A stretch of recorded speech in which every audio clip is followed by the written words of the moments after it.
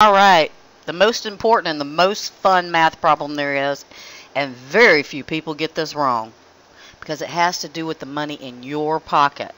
And like I said, if you will take each problem, whether it's a math problem or just a theory problem, put yourself and someone else that you know in the problem. It will help you keep straight who's doing what and gives you a personal interest in it. And all you got to do in math is ask, well, what do I owe? You're not going to let anyone cheat you. And the other way is the golden rule. Makes it a little bit easier. So now let's talk about the commission sale math. the question says you've listed a property for $475,000. Woohoo! Good for you. You charge a commission rate of 6.5% and you've agreed to split the commission equally with a selling office. Now, guess what? I come around and I write an offer for my buyer and after many counteroffers back and forth, the buyer and the seller reach a meeting of minds. Thank God. Believe me, this goes on forever sometimes. The property is going to sell for $456,950. Now, the seller agreed to pay 3% of the purchase price towards the buyer's closing cost.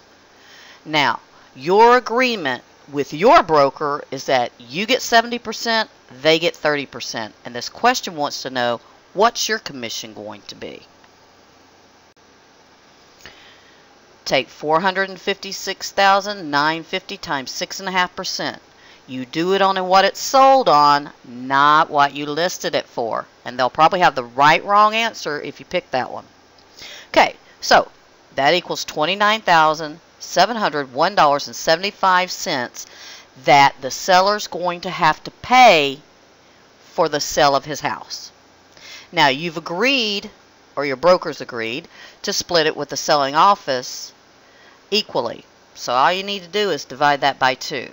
So now what happens is that $14,000 figure, $14,000, $850.88 goes to one broker, the selling broker. The listing broker gets the same exact amount, $14,850.88. Now, you take your check back to your broker and he's going to cut you 70% of it. So to figure out how much your check's going to be, you just take $14,850.88 and multiply it times 70% and your commission for this sale rounded is $10,395.62.